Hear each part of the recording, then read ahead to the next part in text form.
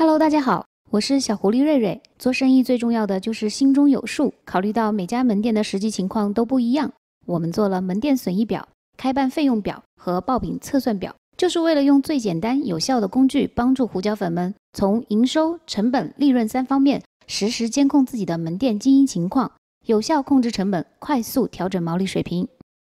好了，先看门店损益表。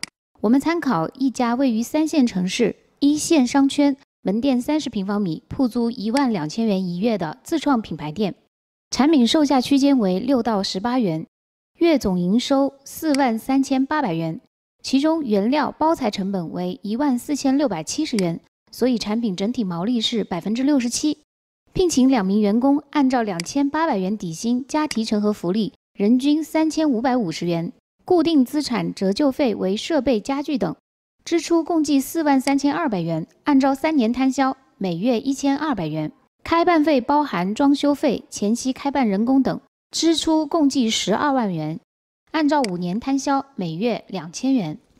核算下来，整月净利润是五千二百八十元。接下来再看看这家门店的爆品测算表，单日营收是一千四百六十元，SKU 数是二十三。销量是一百二十七份，毛利是九百七十一元，毛利率是百分之六十七。爆品共计五款，整体营收是八百四十八元一天，高于总营收的百分之五十。爆品平均毛利率是百分之六十五，略低于整体毛利率百分之六十七。爆品的数量虽然不多，但销量占比较为理想。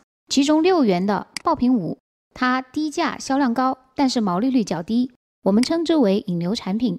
所以爆品毛利可较其他产品低，但前提条件是销量一定要高。基础品是常规产品，销量比爆品要低，也不见得每款产品每天都有销量。请注意，基础产品 SKU 数不宜太多。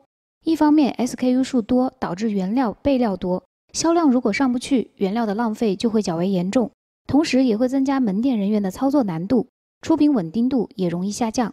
更重要的是，增加了客人的选择难度。请注意，那些长期零销量、销量极低的产品，建议果断下架。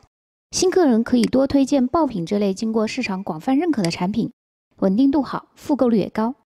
老顾客可以多一些推荐上新品，尝鲜价格可以略低或者带点小福利，顺便让老顾客多些反馈，帮助门店调整上新产品。如何给爆品定价呢？假设爆品一。原单价十二元降到十元，销量从原来的十二份增加到十八份，那么毛利就是五百四十六元，高于原来的五百三十一元。如果同样降到十元，销量只增加了两份，那么整体毛利就是五百二十元，低于原来的五百三十一元。所以门店实际销量是关键，你自己的客群对价格敏感度是高还是低呢？要在后续不断的尝试摸索中，寻找属于自己的销量和售价平衡点。所以，胡椒粉粉们，你们理想的净利润是多少呢？聪明的你一定发现了，爆品和基础品、上新品的毛利率是不一样的。每日营收和成本关系着月净利润。